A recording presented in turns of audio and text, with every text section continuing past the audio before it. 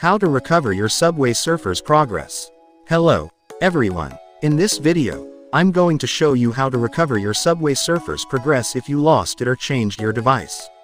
It's very easy and simple, so let's get started. First, open Subway Surfers.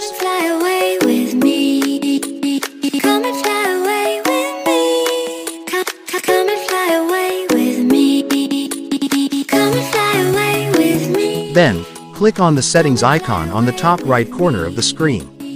You should see a menu with different options. If you don't see the option that says, Connect to Facebook, then you need to enable it first. To do that, click on this link to watch my previous video where I explain how to do it. Okay, now that you have enabled the option, click on it and log in with your Facebook account. This will sync your Subway Surfers progress with your Facebook account. Wait for a few seconds and you should see a message that says, your progress has been restored. Congratulations, you have successfully recovered your Subway Surfers progress.